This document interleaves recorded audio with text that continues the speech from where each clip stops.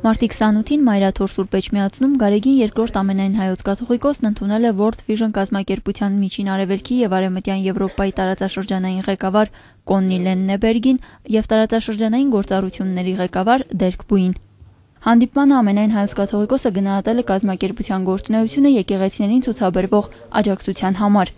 Մայրաթորի եւ World Vision-ի համագործակցությունն ավելի քան 10 տարվա պատմություն ունի։ Քրիստոնեական բարեգործական կազմակերպությունը Հայաստան եկավ 1988 թվականին աղետալի երկրաշարժից տուժածներին օգնության ձեռք մեկնելու, սոցիալապես անապահով ընտանիքների եւ համայնքների կյանքը բարեփոխելու նպատակով։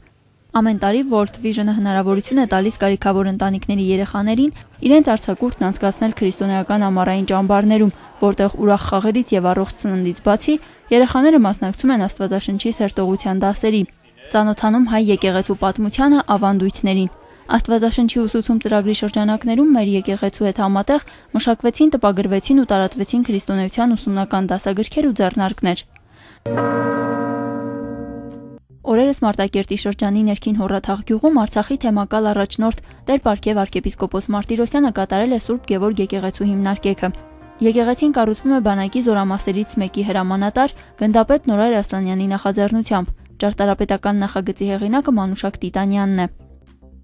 Վեմքարերը նորակառույց եկեղեցու հիմքում տեղադրել են բարերարն ու զինվորները։ Հիմքում տեղադրվել է նաև եկեղեցու շինարարության արձանագրությունը։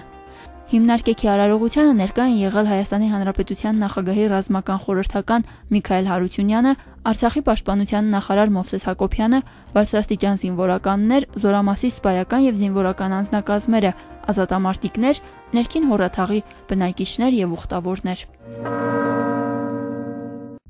Մայրաթոր Սուրբ Էջմիածնի հրատարակչական բաժինը լույս է ընծայել Գևորգ եպիսկոպոս Սարոյանի հեղինակած Երվանդ Վարդապետ Տերմինասյանի եկեղեցագիտական գործունեությունը եւ լիբերալ բողոքական դպրոցի հետ ունեցած առնչությունները գիրքը։